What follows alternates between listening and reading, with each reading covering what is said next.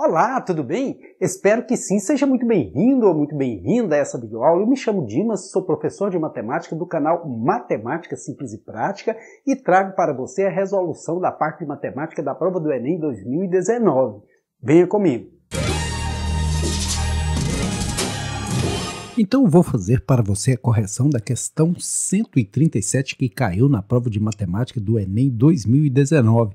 A 136 depois eu posto porque eu recebi essas imagens aqui pelo celular e a qualidade estava um pouco baixa, então não deu para definir direitinho alguns dados. Mas assim que eu tiver acesso à questão, eu trago para você aqui no canal Matemática Simples e Prática. E a questão número 137 diz o seguinte: um casal planejou uma viagem e definiu como teto para o gasto diário um valor de até mil reais. Antes de decidir o destino da viagem, fizeram uma pesquisa sobre a taxa de câmbio vigentes para as moedas de cinco países que desejavam visitar e também sobre as estimativas de gasto diário em cada um, com o objetivo de escolher o destino que apresentasse o menor custo diário em real. O quadro mostra os resultados obtidos com a pesquisa realizada. Então, nós temos aqui o quadro com os países, as moedas, a taxa de câmbio né, e o gasto diário. Nessas condições, qual será o destino escolhido para a viagem? Então, veja que esse problema foi um presente, mamão com açúcar. O aluno que sabia tabuada, o aluno que sabia fazer continha de vezes já detonava. Primeiro, no caso da França, se você levar em consideração a taxa de câmbio do euro, que é 3,14, então nós vamos pegar 3,14 vezes 315. E aí é só fazer a continha de vezes, né? Aí não há dúvida, conta de vezes é tranquilo, não é mesmo?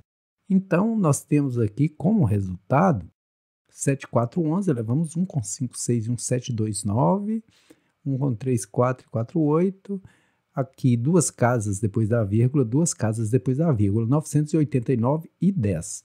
No caso dos Estados Unidos, o dólar na taxa de câmbio na época estava 2,78.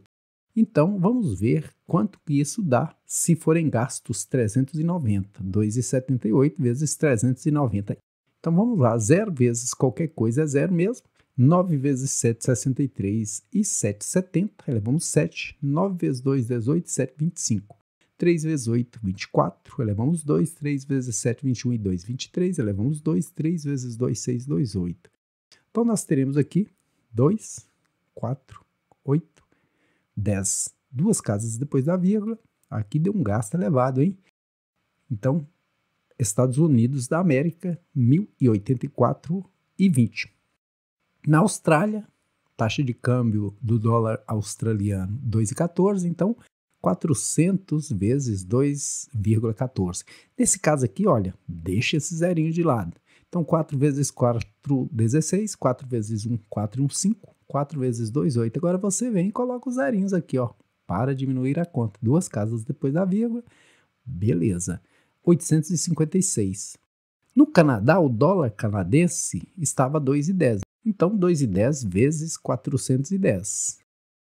Do mesmo jeito, a gente guarda esses dois zerinhos. Olha, faz a conta só com os demais números. No final, você vem e coloca eles aí, olha. Duas casas depois da vírgula, duas casas depois da vírgula, 861. Por último, aqui no Reino Unido, a libra esterlina estava a 4,24, valendo muito, hein? Então, 4,24 vezes 290, deixamos esse zerinho de banda, 9 vezes 4, 36, 9 vezes 2, 18 e 3, 21. Elevamos 2. 9 vezes 4, 36 e 2, 38. 2 vezes 4, 8. 2 vezes 2, 4. 2 vezes 4, 8. Somando aqui, nós agora colocamos esse zero. Duas casas depois da vírgula. 1.229 e 60 centavos. Então, agora ficou simples, né?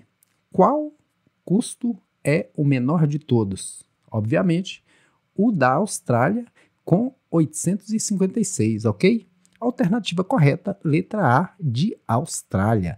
Espero você para a correção da próxima questão, ok? Espero que você tenha gostado da videoaula.